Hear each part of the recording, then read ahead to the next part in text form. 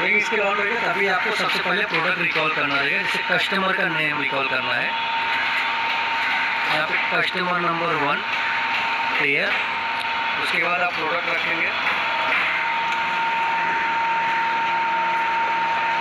Free यहाँ पे customer का नाम आ गया इंजीनियरिंग करके। ये स्टिकर को आप यहाँ पे बॉक्स के ऊपर स्टिक कर सकते हैं।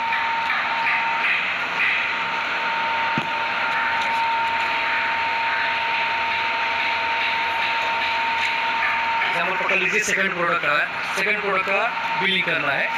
तो वापस मोड प्रेस करके रखिए टू नंबर आया टेयर कीजिए। और ये प्रिंट